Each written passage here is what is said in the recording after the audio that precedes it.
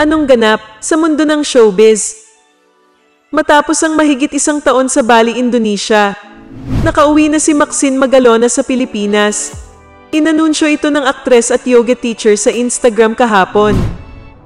I didn't realize how much I've missed the Philippines until the day I flew back and felt the beautiful and comforting energy of being home.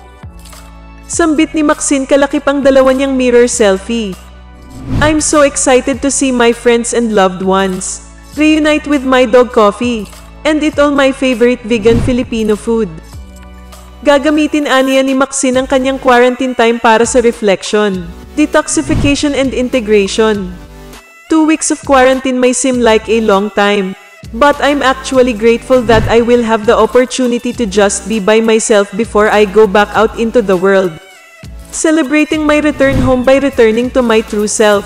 I'm finally home, Manila. I am my own home. Dagdag pa niya, ano sa palagay nyo? Sobrang payat ni Maxine. Hindi bagay sa kanyang magandang mukha.